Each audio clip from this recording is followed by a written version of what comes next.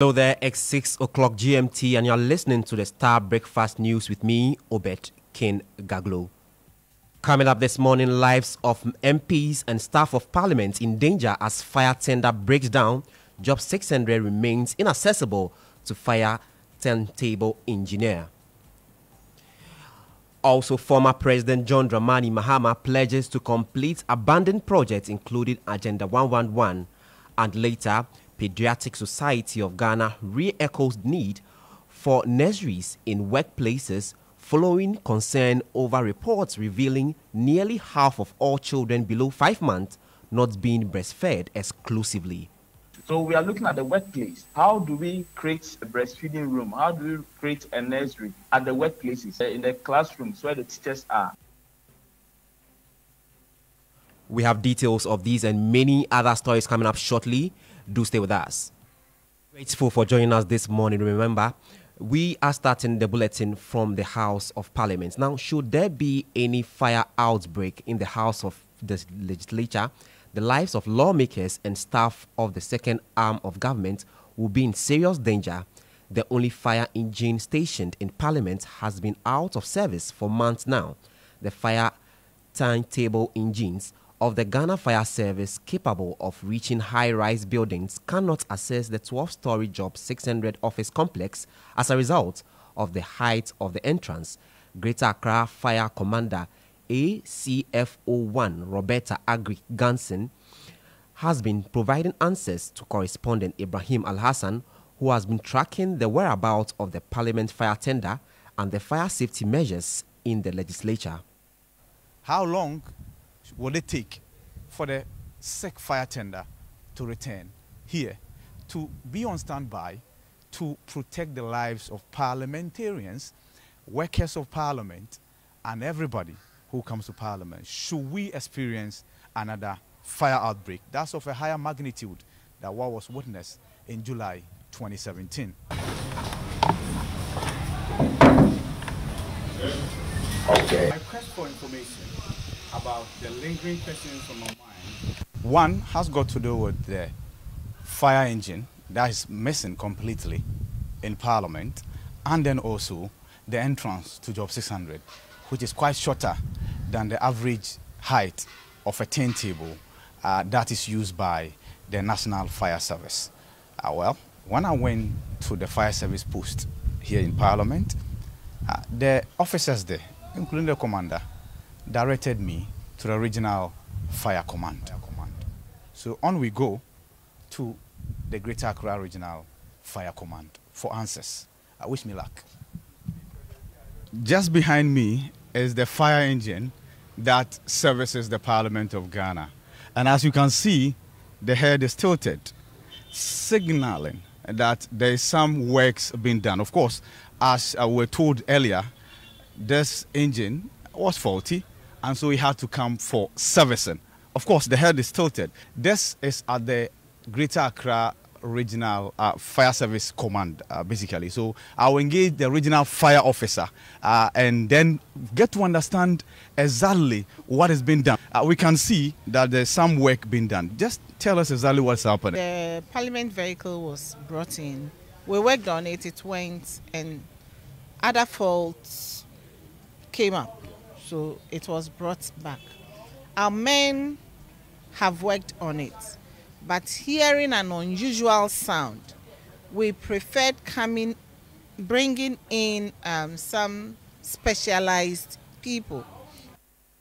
Ibrahim Al Hassan will bring in you details of that's happening in, in Parliament. But away from that, flag bearer of the opposition National Democratic Congress, John Dramani Mahama, has reiterated his commitment to complete abandoned projects, including the ongoing Agenda 111 project initiated by the Akufo-Addo government. He pointed out that with barely four months remaining until the December 7 polls, the current government cannot complete these projects. The former president, who is on a four-day campaign tour of the Upper East region, made these remarks during an engagement with chiefs and religious leaders in Fimbu Fimbusi in the Builsa South constituency. We'll continue the electrification projects, and um, as I've assured um, the whole country, that we're going to continue the abandoned projects. over the years when governments leave, subsequent governments do not continue the projects that previous governments were doing because they think that if you continue it, the credit will go to the previous government and not to you. We don't have that disposition. Taxpayers' money, Ghanaian taxpayers' money, has gone into those projects that have not been finished, but Ghanaians are not getting the benefits because the projects have not been done. And so when we come, the projects we're doing, the E-blocks that were abandoned by this government, will continue them. The hospitals we're doing that have been abandoned, will continue them. The projects from Kufuor's time, from Rawlings time, any projects that have not been finished, will continue them. We're doing an inventory of them as I speak, so that, so that every year's budget will make provision for continuing uh, these ongoing and abandoned projects. Even the uncompleted projects that this government will leave, we will continue. The Agenda 111 hospitals, they've started so many of them all over the place. They won't finish most of them. The majority, they won't finish. The responsibility is going to fall on us to continue and finish those projects. And so we'll continue them. We're not going to abandon, abandon them. Now, still in the camp of the National Democratic Congress, Professor Jane Naana Opoku-Agyemang, the running mate of the NDC, says the party's 24 hour economic policy will address some of the economic challenges bedeviling the economy and provide jobs for the youth. She spoke while addressing members of the NDC professional forums at the University of Cape Coast.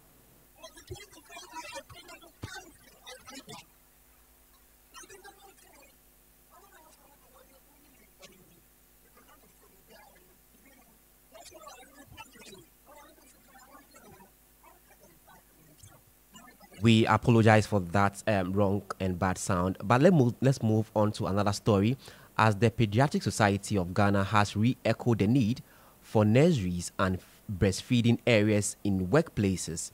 It follows concern over reports revealing nearly half of all children below five months are not being breastfed exclusively.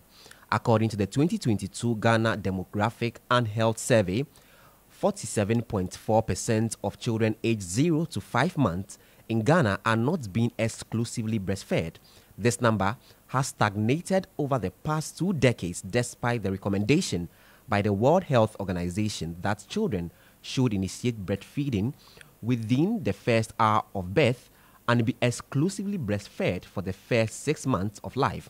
The reports further disclose that in three regions, that is the Greater Accra, Ahafo, and Eastern regions, more than half of the children did not start breastfeeding within the first hour of life. Speaking to Starr News, Vice President of the Pediatric Society of Ghana, Dr. Emmanuel Pong, says there is a need to accommodate the modern women to address the challenge.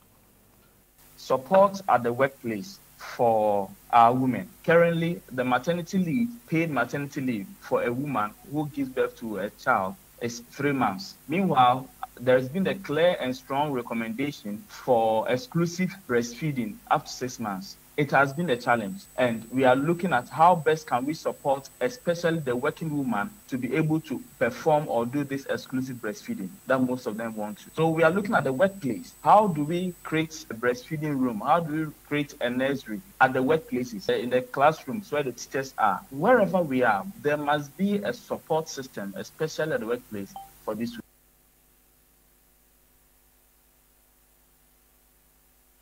Now, NPP parliamentary candidate for Kpone Katamanso William Ofosu Asante has reassured that the government, through the District Road Infrastructure Program DRIP, will ensure that poor road infrastructure in the Kpone Katamanso constituency will be fixed before the impending December elections.